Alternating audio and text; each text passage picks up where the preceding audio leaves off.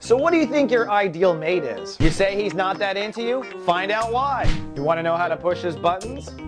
I'll tell you.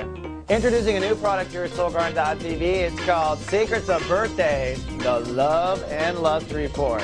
You send us your date of birth, we send you a custom video that's all about you. This is a great way to understand who you're dating. If you're having a hard time, order a report. We'll tell you what they're into and why he's not that into you.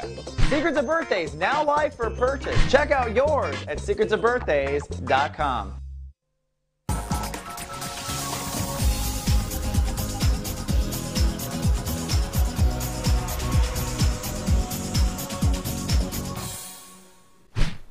Hello, Pisces, and welcome to Friday. It's finally Friday. Got a little disco 70s boogie in that. Sunny, happy go lucky, and social today for the magicians. The moon is in Capricorn, putting emotional focus on your social life for another day. So today's a great day to go out and be that magician that you are, to draw on the magic. And you probably want to go ahead and be social tonight if you were planning on it at all, because over the weekend, the moon moves into Aquarius. That's going to make you very introverted. You're going to want to be private. The weeds in your soul garden might be stirred through the weekend. Don't worry, the moon will move into Pisces next, but you got to go through your monthly weeding transit. That's that monthly visitor. In astrology, the monthly visitor is the moon in the 12th house. So, moon in the 12th, and you will be emotionally processing. So, tonight, go have some fun. Adding to the happy go lucky is the sun. Today, Venus is ruling the day. Venus is the creation vibration. It's also the planet that focuses our love, okay? And your love is focused on relationships. I want you to go be lovey dovey with whoever it is you want to be lovey dovey with. That's my prescription for the day. Today's a great day to create a new relationship. Today is a great day to create a new relationship to yourself.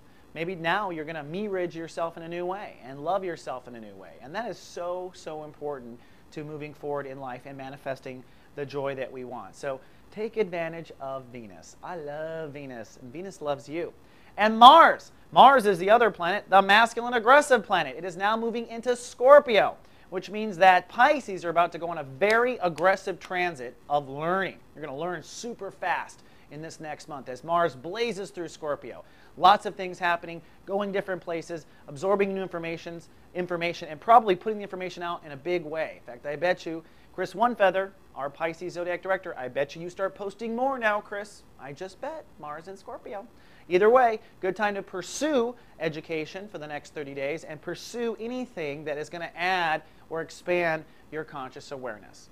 Okay, Pisces, that's all I have for the weekend forecast. When we come back on Monday, Saturn's going to rule today, and that means it's the final decision time for long-term relationships. So if you're still mulling over it, you have all weekend long. But Monday, God wants you to turn in your homework. All that and more on Monday. Live, love, be.